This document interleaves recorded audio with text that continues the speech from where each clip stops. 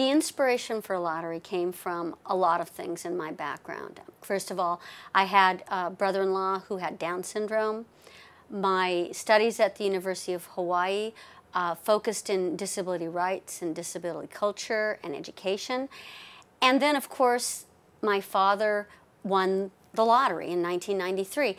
These things weren't important um, individually, but they created a tapestry where they all kind of wove in and created a, an authenticity in the novel.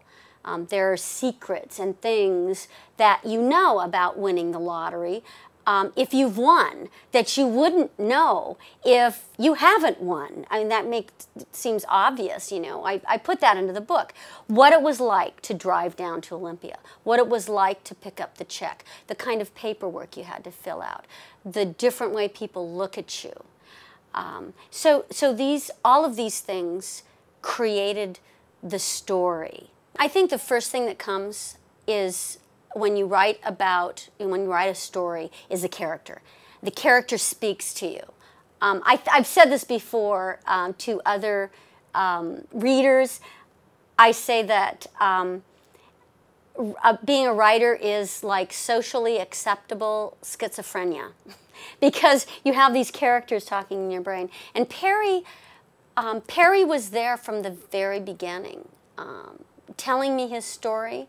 And using my experiences. My character Perry is someone who has some type of developmental disability, mental disability, mental challenge. I purposely didn't label him. I purposely did not tell you he was autistic. I didn't tell you he was Down syndrome. I did not tell you he's learning disabled. He's one of those people that we see maybe every day, maybe at a coffee shop or at as a beggar at a grocery store um, that we don't see. You know, they're, they're around and you don't make eye contact. He is uh, almost an everyman. And he has a mental challenge and everyone makes assumptions about his capability. And then what happens is he wins the lottery. And then suddenly everybody looks at him completely differently. When I started to write Lottery, I mapped out the beginning. My beginning was, it, it, interestingly enough, was pretty much exactly as I penned from the get-go. Then I moved on to the end. I have a tendency when I write to write the first chapter and the last chapter and then work my way to the story, create the arc of the story. Um, the character was there the whole time, though. The character was talking to me the whole time. I think that all writers learn a lot from their readers. I think that for me, to get feedback from my readers um, has been the most gratifying experience. And I also learned what they take away from the book is not necessarily what my intention was in writing.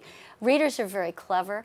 Book clubs have been fascinating because you get a group of people, some of them um, really are um, interested in maybe the characterization, others are interested in the message, and um, it's almost a, a, negotiation between the reader and writer where you're, you're discussing.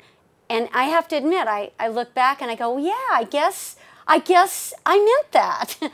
and, um, and you learn that readers really enjoy the conversation with the author.